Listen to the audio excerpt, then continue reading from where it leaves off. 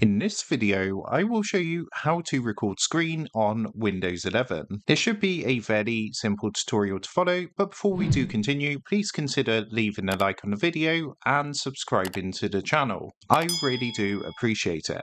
Now, Windows 11 does have a built-in feature which enables you to record your screen, and that feature is called the snipping tool. Now, to use this, what you want to do from your desktop is come down to the search box at the bottom and just go ahead and type snipping tool into the search box. So you're going to see snipping tool come up underneath best match. All you want to do is give that a click to open up snipping tool. This is what it looks like. And what you want to do, if you look at the top, we've got some different icons. Now you can see this kind of video camera picture here. What you want to do is give that a click. And this is going to be set up to start a recording. So once you've clicked onto this, just come and click onto new over here, new recording. So give that a click. Then what you want to do is actually select the area of the screen that you want to record. So if you actually want to record your whole screen, all you need to do is come up to the top corner, hold down your left mouse button and drag this square just like this down to the opposite bottom corner. That's going to select your whole screen and once that's ready you're going to see this toolbar at the top. Now there's a few different things we can adjust before we start recording our screen. The first is our microphone so if you click onto this you can select your microphone and choose whether you want to mute or unmute your microphone. Also you've got this mute system audio so if you want to actually mute the audio coming from your PC or laptop you can use this to mute the sounds coming from your laptop. So once you're happy with everything and you're good to go, just come and click on to start at the top and you're going to see this countdown timer. It says 3, 2, 1 and we're going to start recording our screen. So to stop recording on the toolbar at the top, you're going to see a red stop button, a stop square. It's going to say stop recording. So give that a click to stop recording. And once you stop recording, it's going to open up your video in the snip tool. As you can see, here is our recording and we can just go ahead and play this back. So you can see the screen recording that I've just recorded here